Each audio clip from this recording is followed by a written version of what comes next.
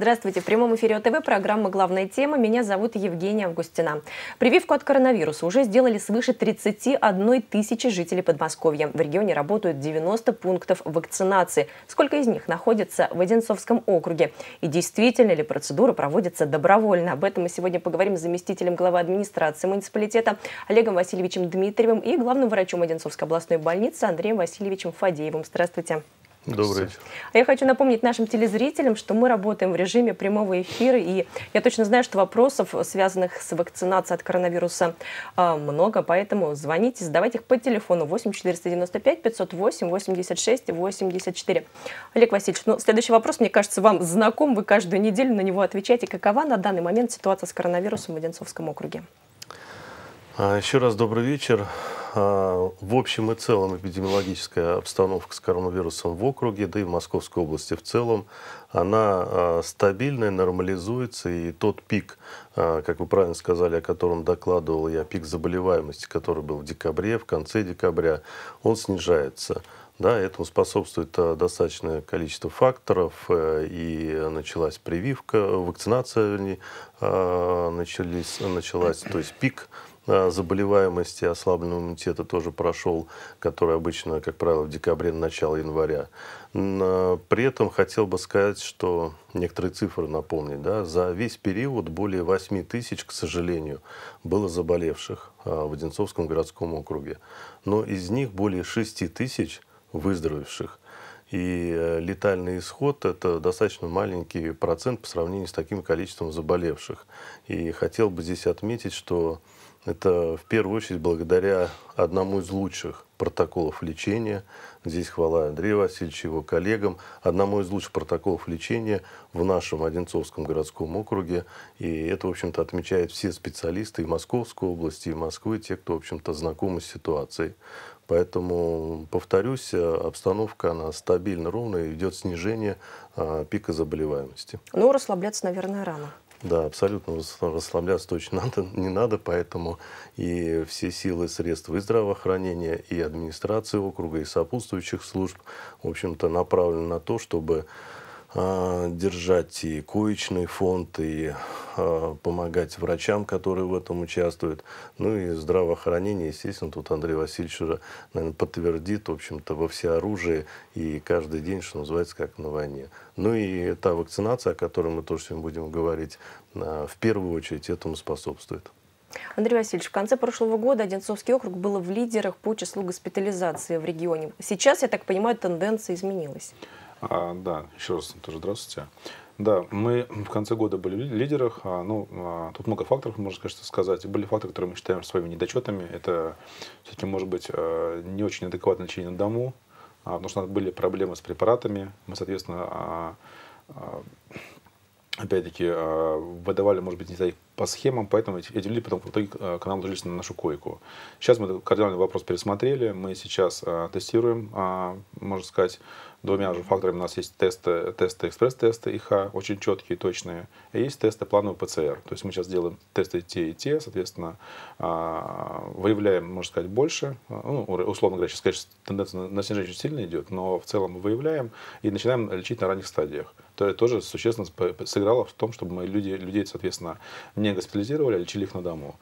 И, естественно, мы сейчас выдаем препараты тоже пациентам по схемам лечения там, от ковида, от пневмонии, а, там, от ОРВИ. Тоже все наличие есть, соответственно, полностью в полном объеме. И мы адекватно по схемам выдаем, что тоже повлияло на а, уменьшение, соответственно, госпитализации.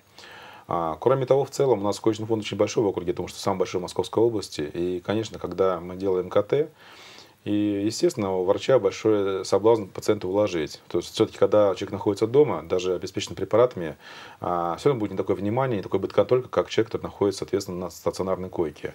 И, конечно, когда у тебя за спиной, там, можно сказать, 2300 а, коек, там, условно говоря, там, свободных, у нас всегда были свободные койки, там, не меньше, там, наверное, 20% всегда было свободно.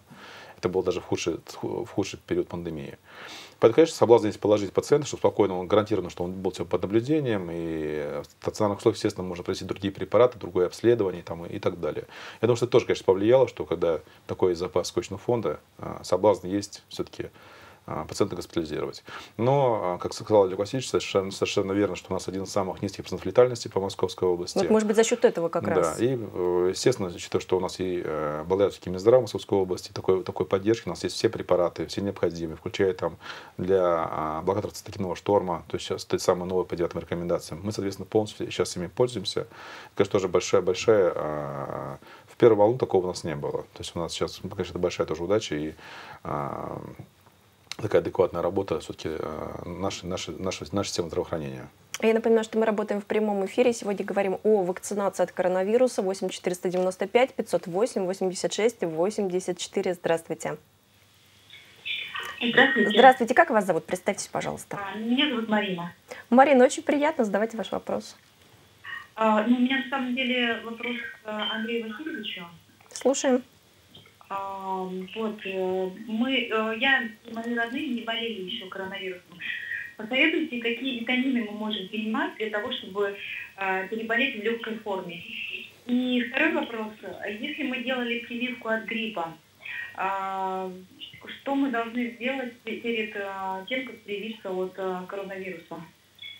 Спасибо большое, Марина, за ваши вопросы. В интернете много разных вариантов. Витамин D, витамин С. Да, но, к сожалению, ни, ни, одни, ни одни витамины не а, доказано берегут от, от того, что вы не заболели или переболели в легкой форме. К сожалению, таких данных у нас нет.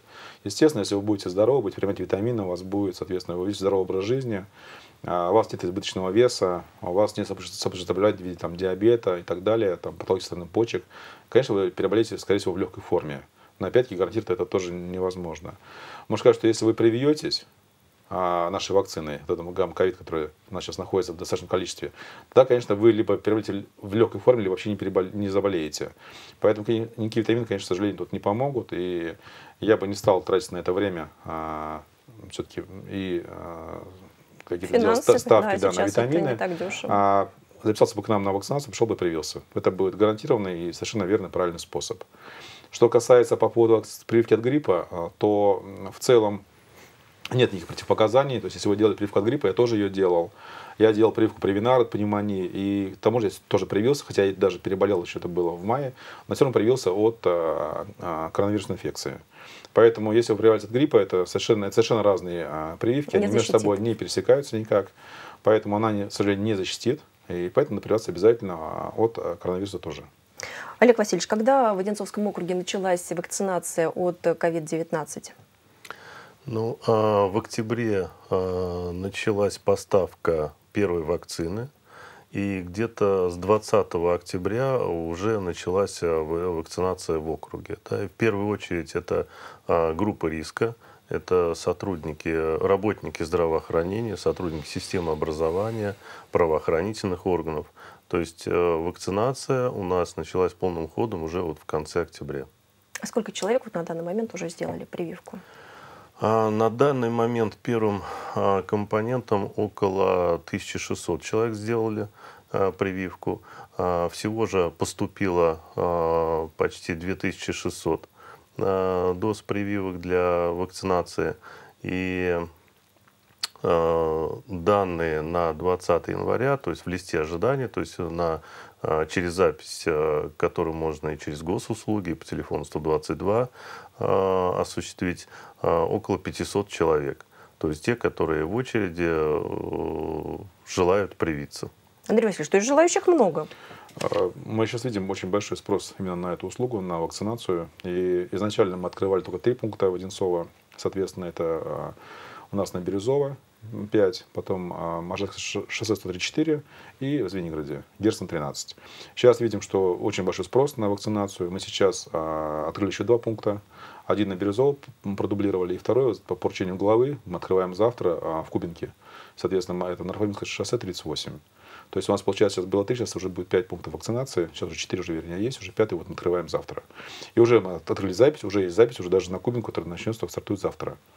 Поэтому, да, вот именно а, спрос сейчас на вакцинацию, конечно, очень большой. А можем сказать, вот сколько примерно люди будут ждать прививки, когда их пригласят?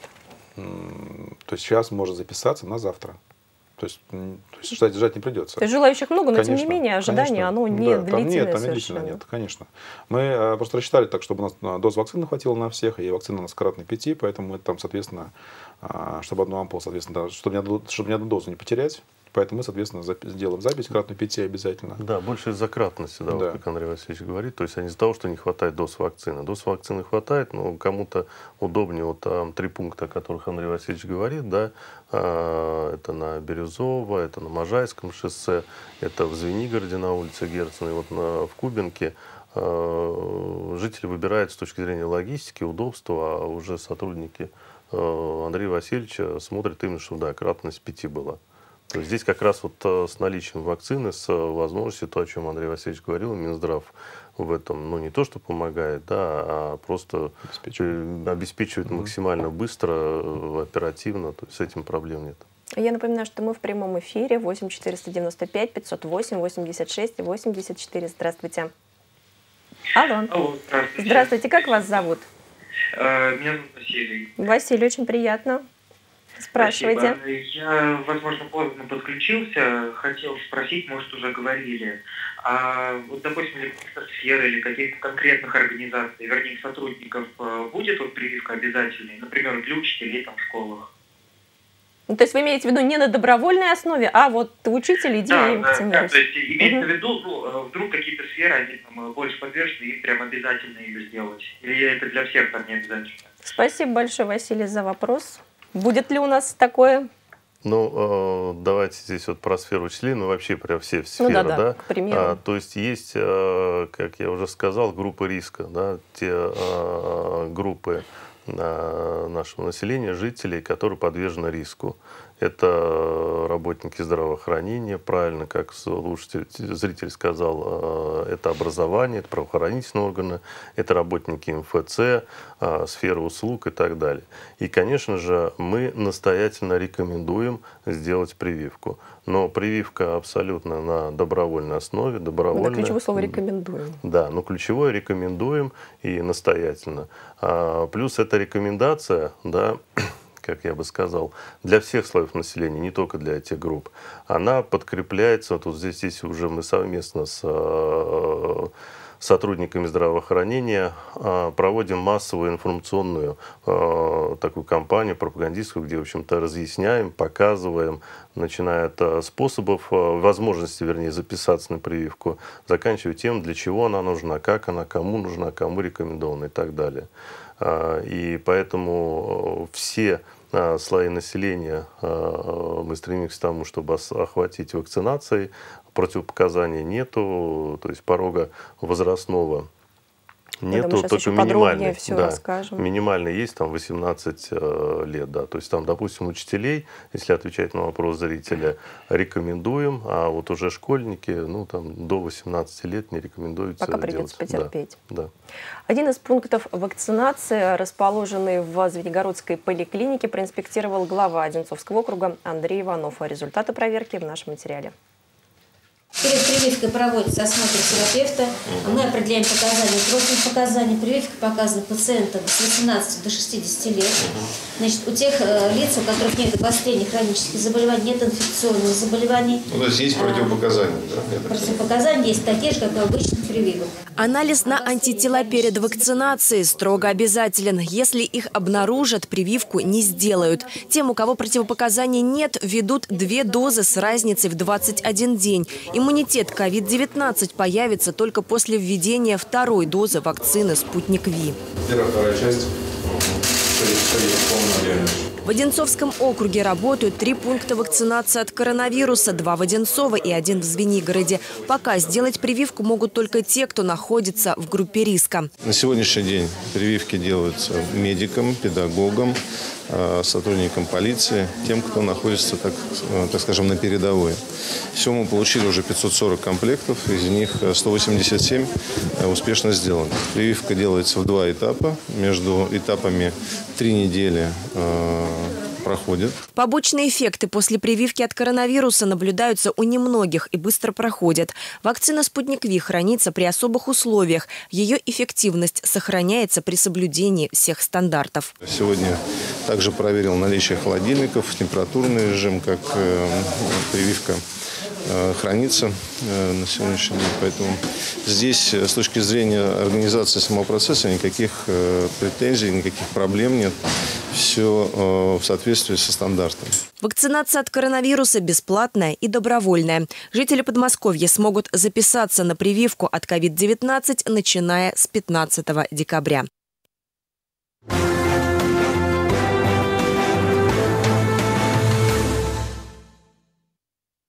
Прямом эфире телекомпании «Одинцова» программа «Главная тема». Сегодня мы говорим о вакцинации от коронавирусной инфекции. 8 495 508 86 84. Наш номер телефона. Звоните и задавайте ваши вопросы. Сюжет был сделан в начале декабря, и уже ну, практически за месяц очень много изменилось. Да? Вот на, завтра будет 5 пунктов вакцинации в Одинцовском округе. Планируется ли их дальнейшее увеличение, Олег Васильевич? Да, мы планируем открыть э, максимальную э, доступность для жителей, да, и удобство для жителей. Это торговые центры, это МФЦ. Э, уже э, ведется работа техническая. Вот я знаю, Андрей Васильевич сегодня уже был в Вегас Кунцево, смотрел помещение. Это будут не просто пункты, это будут удобные для жителей, в первую очередь, пункты, брендированные, а, соответствующим оборудованием, соответствующими специалистами, которые будут работать и в субботу, и в воскресенье в определенное время, когда а, уже будет определено точные адреса, и они будут укомплектованы, конечно, график мы доведем до жителей, и, в общем-то, сделаем, скажем так, максимально все удобно а, для жителей округа и максимальное количество, насколько это возможно, точек то есть и э, так называемые ну, не мобильные точки, а точки не в стационарах а здравоохранения и не в поликлиниках а удобные для жителей. Я напоминаю, что мы в прямом эфире 8 495 508 86 84. Здравствуйте.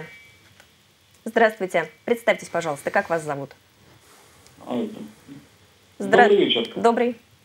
Добрый вечер. Юрий меня зовут я пенсионер. Э, подскажите, пожалуйста, в последнее время пошла полемика по самой э, видам прививки COVID-19, э, потом корона и вот это Чумакова.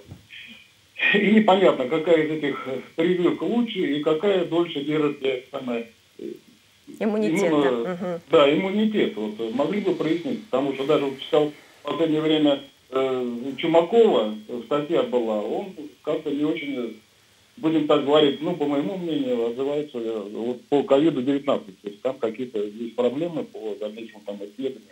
Работает. А вы планируете сделать прививку?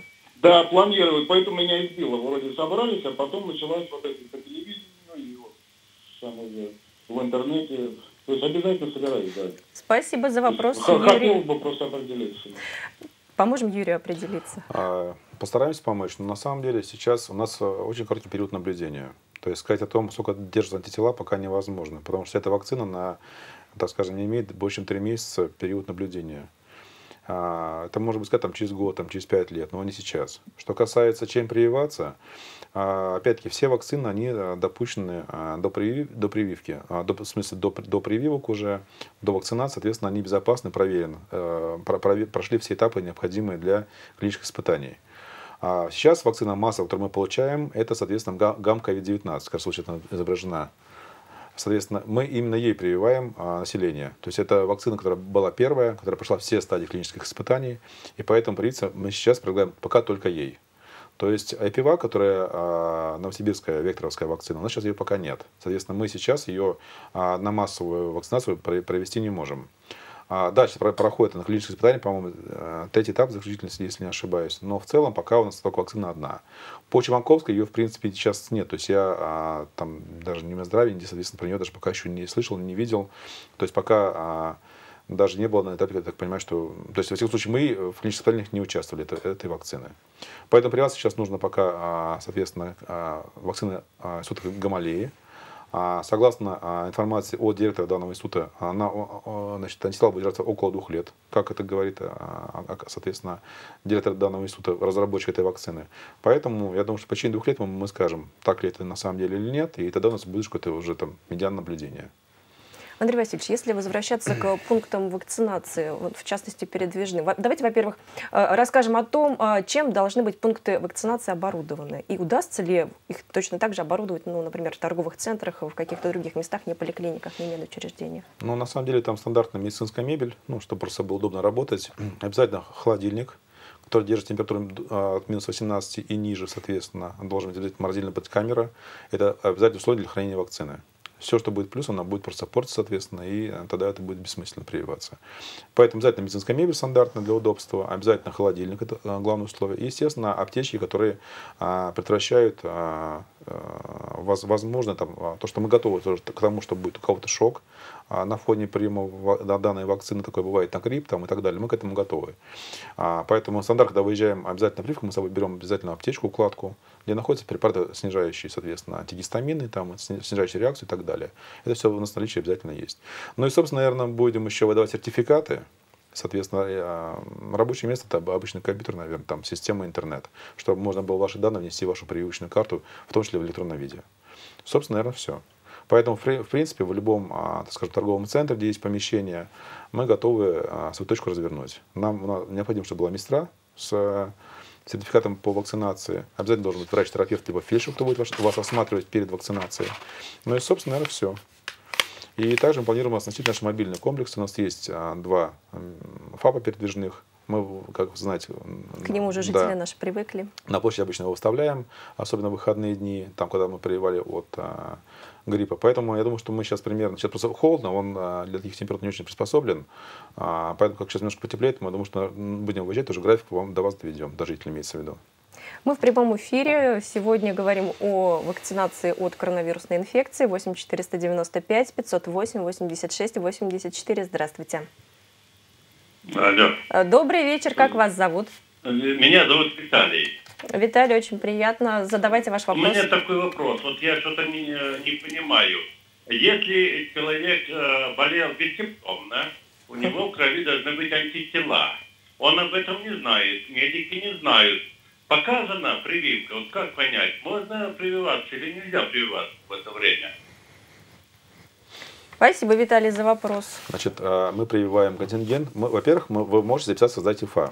Если у вас есть сомнения, болели вы или не болели, может, ваши родственники болели там до, до полугода, вот в этот период, тогда лучше сдать на, на кровь на антитела, на ИФА. Мы, у нас есть запись также а, через ЕМИАС на, а, на кровь, то есть вы приходите совершенно бесплатно, сдать, сдать сначала кровь. Получаете данные по антителам, вы принимаете решение, будете прививаться или не будете прививаться. Если вы переболели более чем полгода назад, соответственно, и у вас нет контактов, а, не было таких прям достоверных контактов с эпидбольными, то можно привиться сразу. То есть антитела сдавать не обязательно. Соответственно, вот, собственно, два условия. Либо сомневайтесь, тогда сдайте кровь, не сомневайтесь, тогда прививайтесь. На данный момент, я так понимаю, что прививку от коронавируса может сделать любой желающий. Какие есть противопоказания? Кто прививку сделать не может? А, человек должен быть просто здоров. Соответственно, мы пока не можем сделать детям, то есть до 18 лет, до 18 лет мы пока прививку не делаем. И главный человек должен быть здоров. Соответственно, не должен признаков ОРВИ, он не должен болеть ковидом или быть похожим на это на настоящий, на настоящий момент поэтому смотрит обязательно врач. Но если есть выраженная аллергическая реакция, то есть если, в принципе, является аллергиком, там была реакция на грипп там, и так далее, то тогда тоже, скорее всего, мы не привьем. Все остальное, особенно если диабет, лучше привиться, потому что диабет очень тяжело протекает на фоне коронавируса. А проблемы с почками, особенно хронические почечные недостаточность, протекает очень тяжело, больные такие а, погибает, к сожалению, очень много. Поэтому, конечно, вот эти категории, которые болеют, а, гипертония, проблемы с сердцем, лучше привиться. То есть это не является а, основанием для отказа от прививки. В прямом эфире мы работаем, э, говорим о вакцинации. 8 495 508 86 84. Здравствуйте. Здравствуйте. Здравствуйте. Мне можно задать вопросик? Да, конечно. Как вас зовут?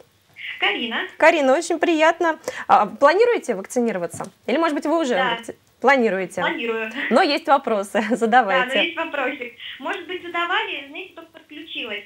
Вот хотела спросить, а будут ли делать прививки э, от ковида детям э, в садах и школах? Спасибо, Карина, за вопрос. Мама переживает. На, я отвечу, если вы. Значит, ну, да, я повторю. У нас э, пока данных о том, что можно приводить детей, а, в России нет. Соответственно, сейчас, я думаю, что будет планироваться клинические испытания, насколько, насколько я знаю, именно у детей. Пока на настоящий момент мы а, вакцинацию детям не проводим. Но правильно я понимаю, что дети достаточно легко переносят коронавирусную инфекцию? Да, да. В целом, Легко, в целом, бессимптомно, да. да, но они могут быть являться переносчиками, поэтому э, и специально для Карины, и для всех э, зрителей, кто только подсоединился, скажу, что мы настоятельно рекомендуем э, нашим педагогам, учителям, всех, кто задействован в сфере образования, прививаться, чтобы, в общем-то, самим не заболеть, а не быть переносчиками, потому что как раз вот дети, и это уже подтверждает статистика, могут являться переносчиками без выраженных э, симптомов заболевания. Э, хотя, э, да, мы, естественно, очень внимательно и с начала календарного года опять э, смотрим во всех образовательных учреждениях за эпидемиологической обстановкой, утренние фильтры проводим, помещения проветриваем, санитайзерами обрабатываем и помещения, и, в общем-то, все, с чем может соприкасаться человек, да, но при этом вот среди детей так выявленных симптоматики ее нет хотя тоже болеют, к сожалению. Андрей Васильевич, решил человек сделать прививку. Как к этой прививке готовиться и нужно ли готовиться? А, готовиться никак не нужно. То есть просто приходите, соответственно, а, ну, условия слова одно, это надо быть здоровым. То есть не должен быть там ни ОРВИ, ни, ни температуры, ничего, признаков. Приходите, соответственно, и прививайтесь. Одними из первых прививку от коронавируса сделали те, кто больше других подвержен риску заразиться. За ходом вакцинации педиатров Одинцовской областной больницы наблюдала наша съемочная группа. Сегодня педиатр Денис Давыдов, сам пациент, в назначенное время спешит на прием к терапевту. На руках готовые анализы на антитела к COVID-19. Без их результатов прививку не сделают. Ну, сначала мы прошли тестирование антитела, мазки сдали. Когда они все отрицательные, антител нет, соответственно, вы допускаетесь до прививки абсолютно здоровым. Прививку от коронавируса делать не страшно, говорит Денис Давыдов. Страшно заболеть самому и заразить других. Среди его пациентов как больные малыши, так и новорожденные. В арсенале защитных средств детского доктора стандартный набор – маски, перчатки, антисептик. Давыдов, Готовиться к прививке заранее не нужно. Главное условие – антител к коронавирусу у пациента быть не должно. Есть еще возрастные ограничения. Тем, кто младше 18 и старше 60 лет, терапевт добро на вакцинацию не даст. Абсолютно не больно, как комарик укусил медсестра волшебница, так что не переживайте. Вот, абсолютно все безопасно, стерильно. Спасибо вам большое. Теперь защищать педиатра от коронавируса будет вакцина «Спутник Ви». Для Одинцовской областной больницы закупили порядка 240 доз. В ближайшее время поступит еще 300. Условия хранения сложные, поэтому прививку можно сделать только в медицинском учреждении. Не менее минус 18 градусов все в замороженном виде. Мы их вытаскиваем, когда уже человек подошел на вакцинацию, мы идентифицируем его и сразу же вытаскиваем. Там разморожение идет от 5 до 7 минут.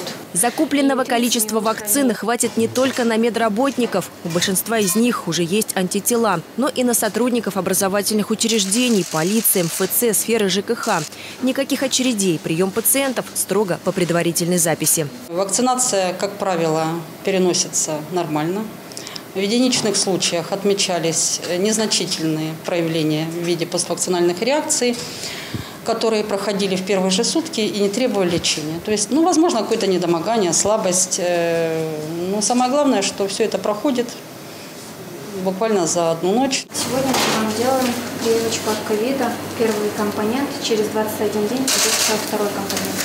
Пятидозовая вакцина от коронавируса рассчитана соответственно на 5 человек. Хранится после разморозки в течение двух часов. Поэтому пациенты идут один за одним. Следующая – Юлия Дегтярева, тоже педиатр. Если есть возможность защититься, тем более от тяжелого течения, то я всегда за. Я вакцинирована от гриппа, от пневмокока, поэтому сразу решила и от ковида тоже. Прививка сделана, но забыть про маски, перчатки и антисептики все равно не получится. Антитела к коронавирусу должны появиться только после введения второго компонента вакцины через 21 день. Да и после успешной вакцинации все равно лучше поберечь себя.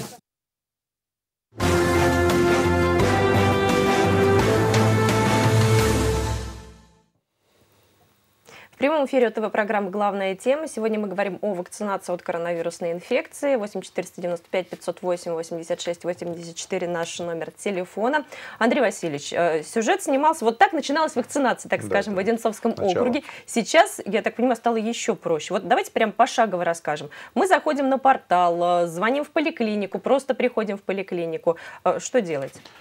А, мы заходим на портал, госуслуги, значит, находим а, свою поликлинику ближайшую, там, ну, на свою ближайшую точку, вернее, вакцинации, и записываемся. Там а, есть запись на вакцинацию, прямо туда записываемся, все. Это первый вариант. Второй вариант, звоним а, а, по телефону 8 800 550 50 30, это телефон колл-центра губернатора, то же самое, записываемся на вакцинацию. Третье, приходим в поликлинику, подходим к информату и также записываемся на вакцинацию. То есть мы там, соответственно, вам поможем это сделать. Вот, собственно, три возможных варианта записи на вакцинацию. Дальше также осмотр терапевта, вакцинация. Да, да терапевта э, и вакцинация. То есть сам, ну, на антитела уже можно не На антитела при, при желании. То есть, соответственно, когда сюжет снимали, это было начало. Тогда были такие рекомендации. Сейчас, соответственно, э, закончились клинические испытания, определенный этап. И, соответственно, эти рекомендации были сняты. То есть сейчас можно не брать кровь на, на ИФА, это сейчас, сейчас стало уже не обязательным. Олег Васильевич, вы уже упомянули, вакцины на всех хватит. Вот сколько бы желающих не было, всем найдется. Да, именно так. И э, повторю, да, то есть порядка э, более двух с половиной тысяч доз вакцины э, и первого, второго компонента получено.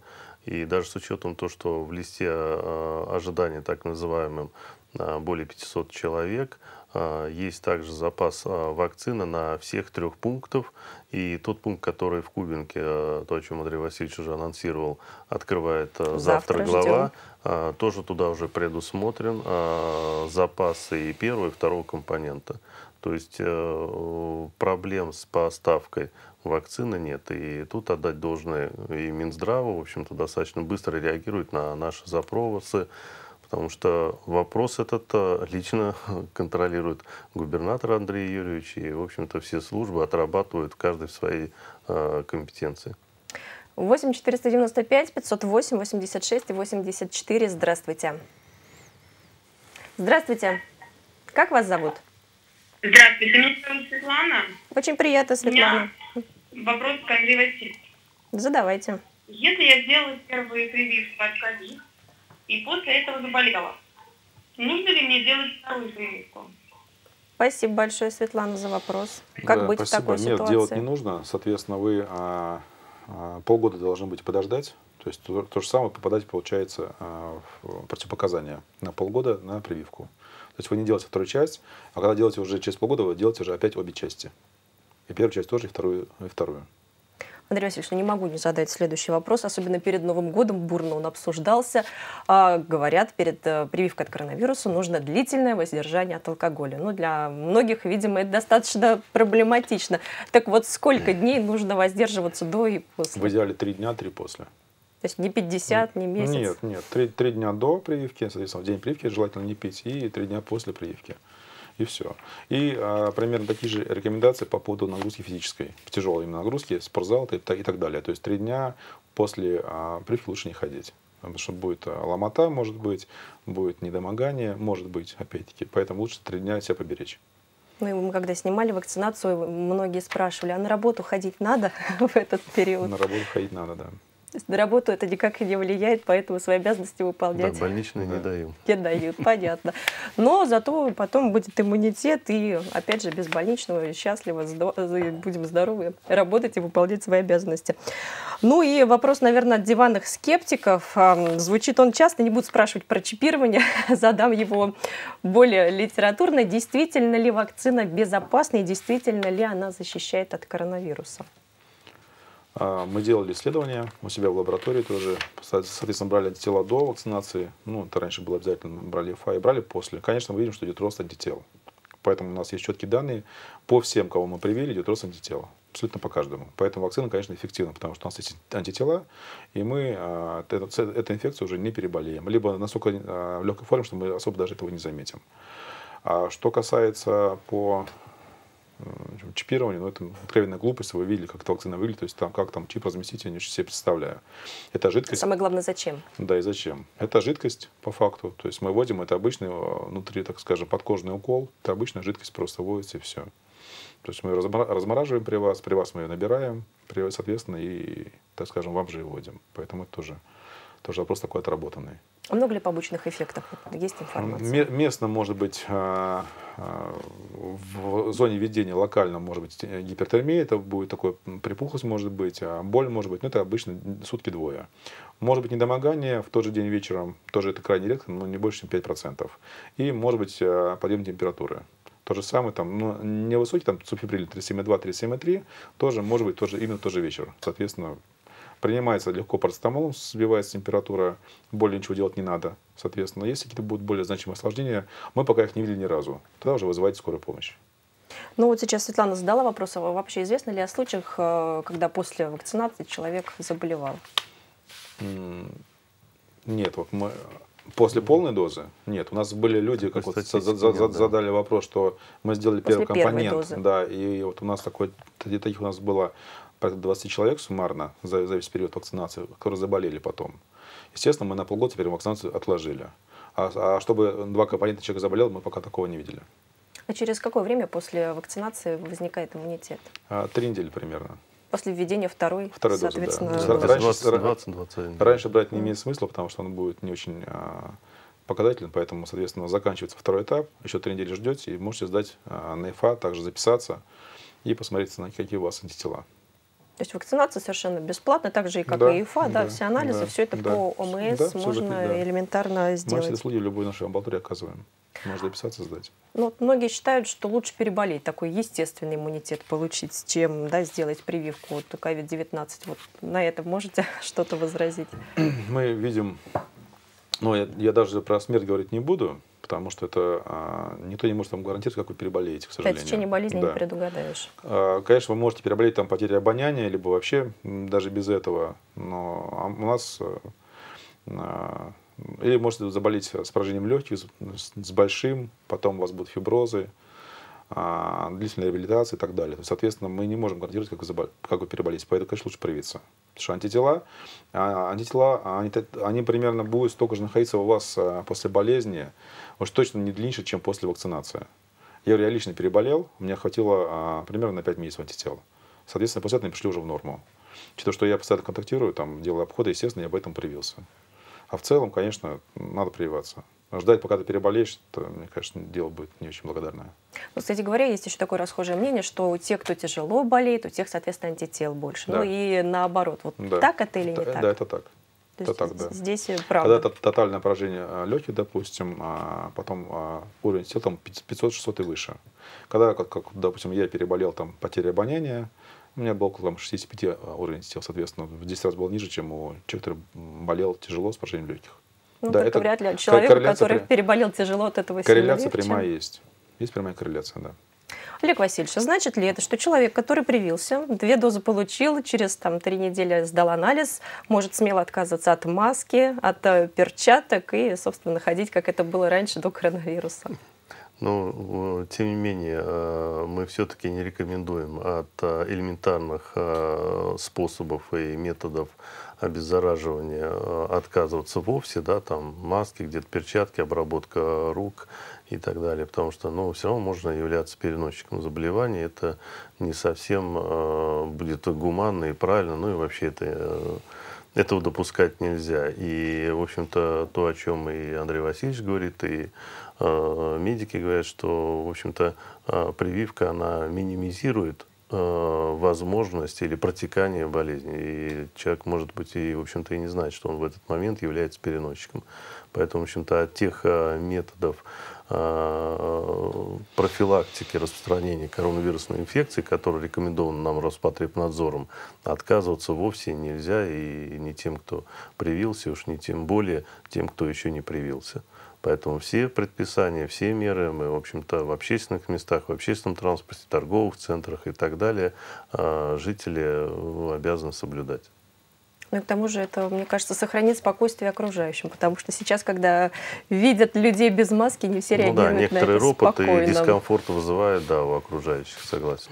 Андрей Васильевич, давайте подытожим. Вот сейчас главные способы защиты от коронавирусной инфекции. Получается, номер один вакцинация, Конечно, правильно? вакцинация, да, это номер один. Он, я думаю, так и останется. Всегда будет номер один, это вакцинация. Второй момент, конечно, это то, что сказал Олег Васильевич, ношение маски. Пока еще надо его будет носить, и перчатки, и, соответственно, обработка рук антисептиком. А когда мы прием, примем 60 населения это Московской области или России в целом, если можно будет сказать, тогда, конечно, эта пандемия полностью уйдет, потому что он дальше уже не будет передаваться вирус человек человеку, и, соответственно, а, эта ситуация просто не будет. Я думаю, что это будет довольно-таки быстро, потому что объем вакцинации сейчас, конечно, поражает, что сейчас нам поставляют там десятками тысяч эту вакцину, и сколько мы сейчас захотим, столько и можем а, взять и привить. Поэтому мне предлагаю немножко потерпеть, и потом можно будет уже отказаться от маски, от перчатки, потому что будут послабления существенные со стороны руководства Российской Федерации. А, естественно, вести здоровый образ жизни. Это а, а, там, соответственно, курение, алкоголь исключить, там, а, какие-то переедания, потому что мы видим, как тяжело протекает инфекция у особенно людей, с ожирением, конечно, тоже влияет очень плохо, негативно на перенесение, перенесение данной болезни. Ну и, э, не знаю, там, адекватный объем воды, естественно, ну, вот и витамины, витамины, то, что сейчас люди спрашивают, уже звонили. Да, конечно, будет тоже на пользу. Какой-то специфической профилактики не существует. То есть пить противовирусные препараты без, без коронавируса, конечно, бессмысленно.